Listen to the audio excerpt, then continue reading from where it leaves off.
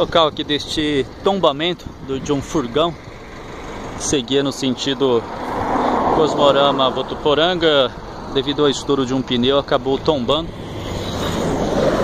Motorista com ferimentos leves já socorrido pelos bombeiros.